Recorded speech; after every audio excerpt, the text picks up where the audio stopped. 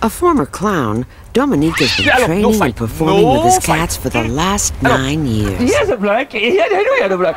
Hey. Ah. Ah. Full turn. went to work about a year and a half ago in an office. I previously worked at home. And this was a trauma for him. And he started to not use the litter box. The worst part was definitely when he peed on the computers in our office. After that, we had to cover the whole house in plastic. Um, it was extremely, extremely unpleasant. And you can do it, you can do it, you can do it, you can do it, you can do it. Oh, doesn't that feel heavenly? Do me next. The cat, when I lie down with it, I kind of have that fantasy that I'm lying down with the tiger or the lion.